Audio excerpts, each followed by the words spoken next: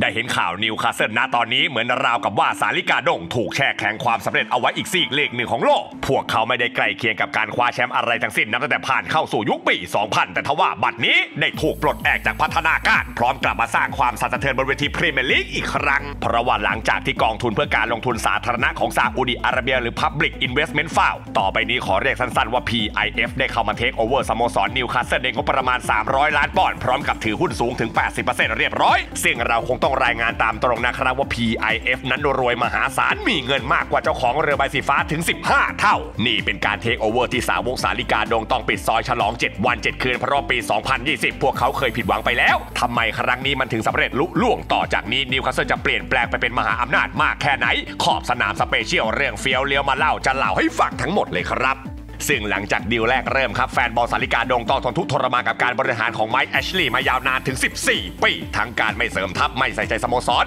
เน้นเอาแต่ฟุตบอลไปทำธุรกิจ เคยมีคนมาติดต่อขอเทคโอเวอร์ก็ไม่ขาย จนกระทั่งอแมนดาสเตฟลีนักธุรกิจสาววัย 48 ปี ซึ่งเคยผิดหวังจากการเทคโอเวอร์นิวคาสเซิลก็ไปหากลุ่มทุนมาใหม่เพราะว่าเธอเห็นความตกต่ำของนิวคาสเซิลไม่ไหวเนื่องจากมีทั้งหล่นไปเล่นเดอะแชมเปี้ยนชิพมีฐานะต้องหนีตกชั้นจากพรีเมียร์ลีกอยู่ตลอดเธอจึงไปติดต่อให้ซาอุดิ Public Investment Fund เข้ามาลงทุน กลุ่มทุนซาอุนี้นะครับผมเป็นองค์กรที่รวยล้นฟ้านำโดยเจ้าชายโมฮัมหมัดบินซาลมานมกุฎราชกุมารแห่งซาอุซึ่งพระองค์ทรงมีทรัพย์สินรวมกันมากถึง 260,000 ล้านปอนด์หรือประมาณ 10 ล้านล้านล้านบาท ดังนั้นเรื่องเม็ดเงินที่เทคโอเวอร์ที่ไมค์แอชลีย์ตั้งเอาไว้ 300 ล้านปอนด์เป็นอะไรที่จิ๊บจ้อยขี้ตีนสำหรับเจ้าชายคนนี้มาก หากนึกไม่ออกว่าเจ้าชายมีเงินมหาศาลขนาดไหนให้เปิดเพลง Money ของลิซ่าแบ็คพิงควบคู่ไปด้วย เพราะว่าเนื้อเพลงแสดงเห็นถึงความร่ำรวยที่ใช้ไม่มีวันหมดอารมณ์เหมือนว่ามาจ่ายเงินคำๆแบบชาตินี้ก็คงใช้ไม่หมดเปล่า ณตอนนั้นสื่อจากอังกฤษตีข่าวไว้หมดแล้วว่าการเทคโอเวอร์น่าจะเสร็จสิ้นสมบูรณ์ไม่มีอะไรพลิกโผตอนนั้นมีการคาดการณ์ได้ว่าจะมีนักเตะระดับโลกคนไหนบ้างกุนซือคนใด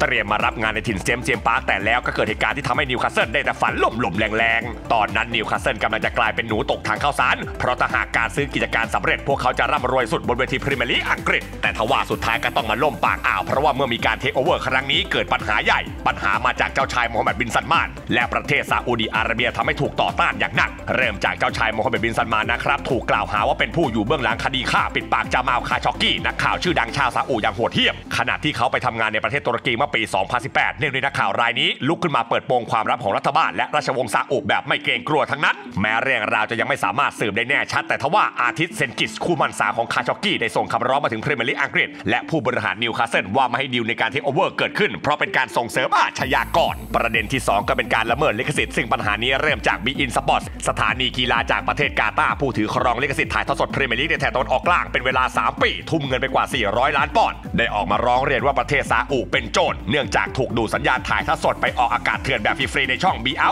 คิวเพราะว่าซาอุกับกาตาร์ตัดความสัมพันธ์กันแบบไร้เยื่อใยเพราะปัญหาทางการเมืองถึงขั้นห้ามประชาชนไปเหยียบกาตาร์โดยเด็ดขาดการออกอากาศของช่อง b ีเอาคิวเหมือนกับบีอินเป๊ะแต่สปอนเซอร์กลับเป็นของในประเทศซาอุทั้งหมดทำให้บีอินนะครับสูญเสียรายได้มหาศาลฟ้องร้องไปถึงฟีฟ่าเรื่องก็เงียบ ดังนั้นเมื่อซาอุ Public Investment Fund จะเข้ามาเทคโอเวอร์เรื่องนี้ถูกหยิบยกประเด็นเพราะว่ากาตาร์กล่าวหาว่ารัฐบาลเป็นผู้อยู่เบื้องหลังแน่ๆ ดังนั้นเมื่อสองเหตุผลมารวมกันก็ถือว่าเป็นข้อครหาที่พรีเมียร์ลีกจะยอมรับไม่ได้ทำให้การเทคโอเวอร์ครั้งนี้ถูกระงับทุกอย่างสำหรับนิวคาสเซิลเหมือนฝันสลายไปแล้ว แต่ทว่ากลุ่มทุน PIF ยังคงเฝ้ารอนับวันรอให้ดีลนี้เกิดขึ้นจนได้หลังจากที่นิวคาสเซิลต้องพบกับความผิดหวังการได้เจ้าของใหม่มาแทนที่ไมค์แอชลีย์เวลาผ่านไปประมาณ 1 ปีกว่าๆ เหล่าแฟนบอลก็หูผึ่งและหัวใจสูบฉีดอีกครั้ง เพราะว่ากลุ่มทุนจากซาอุนะครับ พร้อมกลับมาเทคโอเวอร์ ด้วยการเคลียร์มลทินต่างๆ ให้หมดสิ้น เริ่มจากปัญหาลิขสิทธิ์ทางรัฐบาลซาอุยอมยกเลิกการแบนบีอินสปอร์ตในประเทศ พร้อมกับการไล่ปิดช่องเถื่อนอย่าง beoutQ ให้สิ้นซากนอกจากนั้นนะครับผมยังเอาเงินมาจ่ายค่าชดเชยกับบีอินสปอร์ตสูงถึง 1,000 ล้านเหรียญดอลลาร์สหรัฐอีกด้วย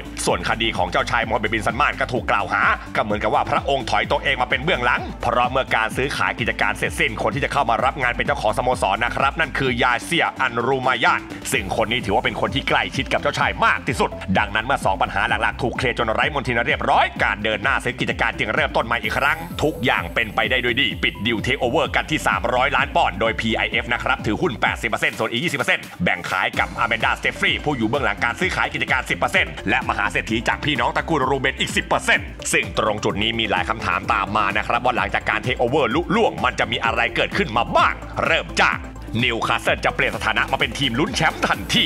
เราปฏิเสธไม่ได้เลยครับว่าเจ้าของใหม่นิวคาสเซิลสร้างความสั่นสะเทือนวงการไปทั่วทั้งอังกฤษ เพราะว่า PIF ได้ประกาศเป้าหมายว่า พร้อมพานิวคาสเซิลขึ้นมายิ่งใหญ่ในเวทียุโรปภายใน 5 ปี ดังนั้นความสำเร็จต้องเริ่มจากบนเวทีพรีเมียร์ลีกอังกฤษเสียก่อน ตอนนี้สาลิกาดงมีสถานะเป็นเพียงแค่ทีมต้องหนีตกชั้นกุนซือสตีฟบรูซก็มีข่าวโดนปลดไม่เว้นแต่ละวัน ปัจจุบันรั้งรองบ๊วยแข่งเจ็ดนัดชนะใครไม่ได้ มีเพียงแค่ 3 แต้มเท่านั้นแต่ทว่า หลังจากวันนี้ทุกอย่างจะเปลี่ยนไปเพราะในช่วงตลาดซื้อขายเดือนมกราคมนี้ พวกเขาจะมีเงินช็อปนักเตะแบบไม่อั้นอย่างที่บอกแหละครับ เจ้าของใหม่รวยกว่าใครเขาเพื่อนในลีก มีเงินมากกว่าชีคมันซูร์เจ้าของแมนซิตี้ 15 เท่าเลยทีเดียว ดังนั้นจึงมีความเชื่อว่าภายในระยะเวลาเพียง 2-3 ปีต่อจากนี้สถานะของนิวคาสเซิลนะครับอาจจะพลิกจากหลังตีนเป็นหน้ามือ จากทีมตกชั้นกลายมาเป็นทีมลุ้นแชมป์เต็มตัว และสถาปนาตัวเองขึ้นมาเป็นท็อป 8 ของพรีเมียร์ลีกร่วมกับเรือใบสีฟ้าแมนซิตี้เชลซีลิเวอร์พูลแมนยูท็อตแนมฮอตสเปอร์อาร์เซนอลและเลสเตอร์ซิตี้และเมื่อมีเงินมหาศาลการจะไปซื้อนักเตะระดับท็อปของโลกมาร่วมทีมก็ไม่ใช่เรื่องใหญ่อีกต่อไปแล้ว หากพูดกันแบบเหนือจินตนาการนิวคาสเซิลสามารถซื้อตัว